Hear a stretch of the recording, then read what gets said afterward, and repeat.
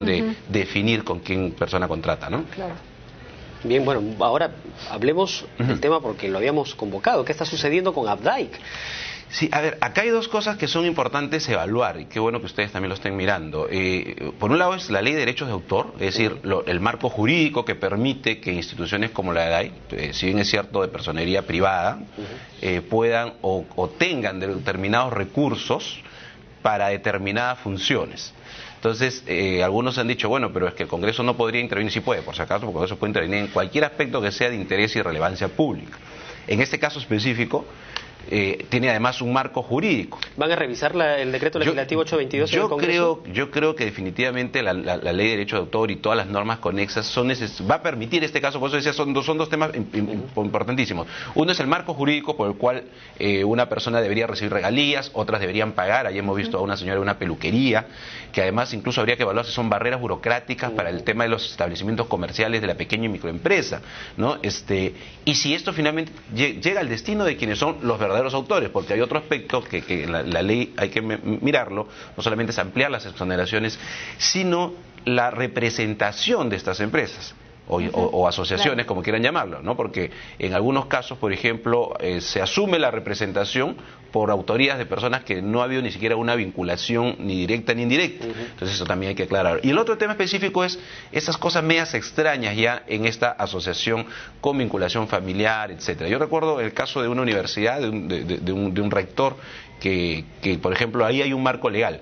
¿No? Entonces dice, es una empresa privada, sí, pero ese marco legal le permite, así como a esto recibir regalías, a esta empresa le permite exonerarse de impuestos. Entonces lo que hay que ver es si esas decisiones de políticas públicas, por un lado regalías y por otro exoneración de impuestos, si nos lleva al Congreso a decir, "Oh, tal vez no están cumpliendo el marco legal o tal vez el marco legal está sirviendo para distorsionar el verdadero objetivo. Y ahí es donde hay que mirar para ver si hay un hecho de corrupción. Pero sí, además, sobre todo, el tema de fondo es si es que se requieren alguna modificatoria. ¿no? Ahora, con esto también hay hechos este, irregulares en relación, pues, a estas autorizaciones radiales que se han entregado llegados a estas asociaciones que incluso eh, tendrían algunos vínculos o nexos con el viceministro de algunos eh, portafolios. Esto también me imagino que va a ser de alguna manera importante para las comisiones, van a ser citados. Exacto. Eh, yo lo que, lo que he planteado, antes que salga la verdad, eso sí, para ser sincero, el, el- el informe sobre el caso del vi- viceministro, que no necesariamente el haber participado, ojo, en, el, eh, en la gerencia o no sé qué de, Abde- de Abdai, que es el Ah, sí. informe, este, quiere decir que necesariamente había un conflicto de interés. Hay que mirarlo con calma. No, no, yo, yo sí, en esos temas no, no es porque el hecho de que sea de gobierno o oposición, ay, ahí hay un tema. No, hay que mirarlo porque puede hacer que, que cumpla o no los requisitos o no, no, no quiere decir que el hecho de que haya participado lo ha llevado a dar este. Pero sí es bueno que este tema se vea también para que quede totalmente, totalmente claro. Pero antes de eso, yo el jueves el jueves que ha habido pleno presenté un pedido por escrito a la presidencia de la Comisión de Defensa del Consumidor y a la presidencia de la Comisión de Fiscalización para que sea, por un lado, por los derechos del consumidor, Así porque es. repito, o pueden ser por un lado barreras, puede estar encareciendo el producto final, ¿no es cierto? Claro. Porque una persona, imagínate que hace una fiesta, que hace un matrimonio, un bautizo de su hijo, o sea, es una relación enorme, y por otro lado el derecho del autor también, que puede estar siendo vulnerado si no recibe realmente las regalías y vemos que el, de- el dinero se va por otros lados de empresas vinculadas a familiares, etcétera.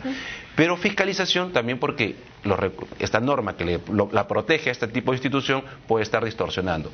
Y lo que les puedo avisar a través de las pantallas de, tele- de- de televisión este, de- del Estado Nacional, eh, de TV Nacional, pues es que los dos presidentes de Codeco, Julia Tevez, como el de fiscalización, se están poniendo de acuerdo bien para hacer una comisión conjunta. Para que no estén desfilando por varias comisiones, una comisión conjunta donde las dos sesiones, que será seguro después de la semana de representación, por lo que me dijo el día viernes los presidentes de ambas comisiones. Es decir, de la semana del 28 al Ahora, 31. de acuerdo a las denuncias que se han presentado, ¿no? Eh, Son cualquier cantidad de usuarios que se han visto afectados eh, al, al parecer. Y también, de acuerdo a, lo- a los trámites que ha iniciado Indecopi, son, dice, que 45 procedimientos administrativos contra en los últimos 16 años.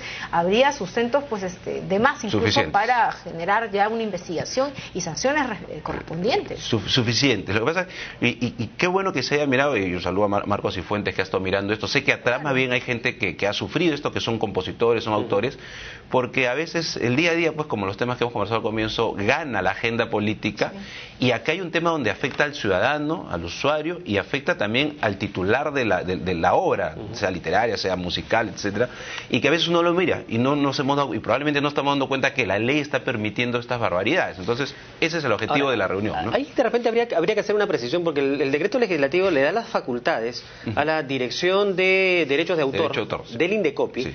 a que sea el que su- supervise, vigile y le apruebe el tarifario que aplica Abdai. Sí. Ese tarifario que aplica Abdai es leonino. Totalmente. Es brutal.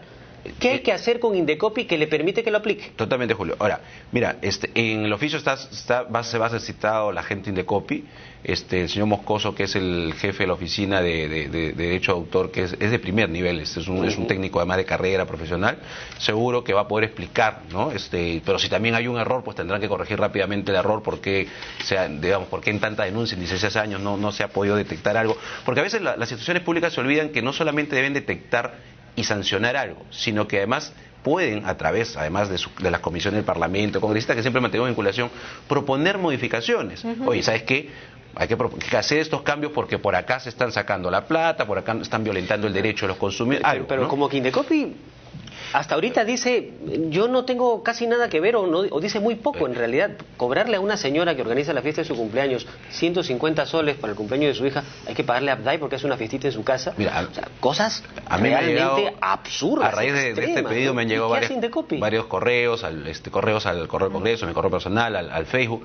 Este, incluso el señor Macei, Vagan Verdades, me llamó, este, me, me llamó para pedirme una reunión. De- eh, hemos quedado en que una vez que los escuchemos en la comisión, nosotros vamos a ver si este es un tema que requiera rápidamente una modificación a las normas, Claro. este, requiera también el hecho que Indecopi no ha cumplido bien su rol, o sí, si lo explica por qué no ha habido tal o cual acción.